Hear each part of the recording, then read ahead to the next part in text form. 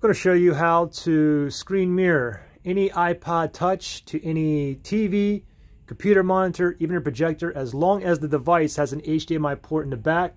The reason is because we're going to go ahead and connect it with an HDMI cable and a digital digital AV adapter right here. Okay, so first thing that you need is a one of these digital AV adapters. This is a lightning to an HDMI here. So you plug your HDMI cable into here, and the other HDMI side you plug into your TV or monitor or projector. And you also have a lightning port here so that you can mirror your iPod Touch and you can charge it the same time. So let me do this. Let me go ahead and connect my HDMI to my TV here. So I just connected the other side of the um, HDMI cable to my TV here. And now let me go ahead and plug this in like this. And you can charge your iPod Touch as well if you plug your lightning uh, charging cable into here. Anyways, next thing you do is just plug this into your iPod Touch. Okay, so now I have it connected. The next thing you gotta do is make sure that your TV or monitor or projector is on the correct HDMI port. So you just wanna go ahead and go to import or settings or source on your remote and so now I have to, oops, bring this back up. I know it's on HDMI 3 because that's the only one that's highlighted. So let me just go right here. Let me go ahead and click on enter. And then as soon as I do that, give it a second here.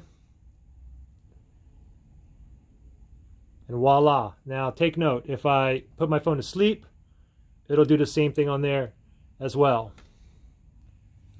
And you can see we can mirror here no problem. Even if I go into an Explorer here or Safari, you can go ahead and read whatever's on the browser. You can zoom in and zoom out. You can play games in here. You can watch YouTube videos as well.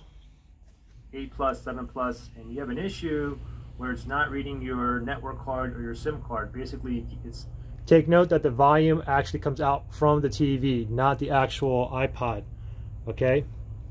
And what else we can do here? If you have photos and videos you can go ahead and relay everything onto the big screen as well. We tap on that.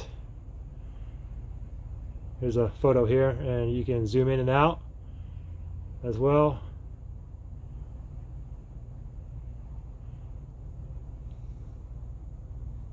And I'll play a video here as well Oh, let me put the uh, play, put the volume up. One, two, three. Testing. One, two, three, four, five, six, seven. And again, same thing. The volume comes out of the TV, not the actual iPod. So pretty simple to do. And if you wanted to go ahead and disconnect or whatnot, this is great to show like work documents too and stuff like that. Anyways, if you want to go ahead and disconnect, you just pull the plug. Pretty simple.